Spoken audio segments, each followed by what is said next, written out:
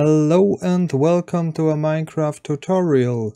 We are YouTuber and normally Vera and I playing Minecraft together on single player. For example, I start a new world on single player, then I push escape, click on open to LAN and someone can join my game via LAN. This is super simple because Vera and I are in the same building. Now we want to share our world via internet with our friends. Normally this is not possible with the single player mod. If I google it, then I have to start a Minecraft server on my PC or I rent an online server. The thing is, I do not want to restart a new world because Vera and I built already things. We only want to share our world with friends online. In this tutorial I will show you how to play your single player safe game online with friends. First we will download LogMeIn in Hamachi.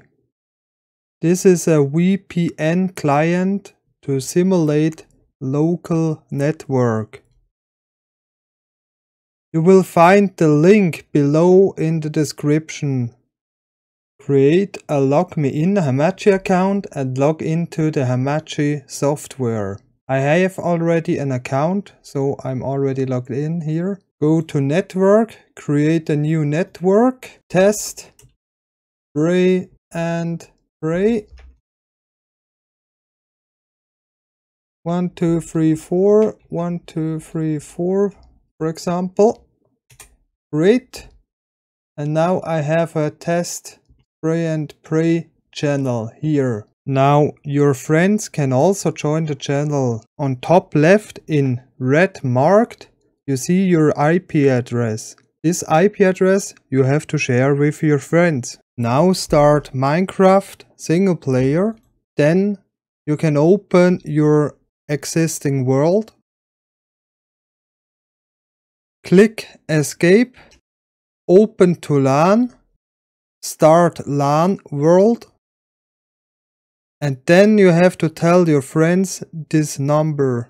Your friends have to go to multiplayer, direct connect, then they will insert your IP address, for example, 11 dot one one dot one one one dot one one and then you have to add a colon and then you will insert the port number from your game.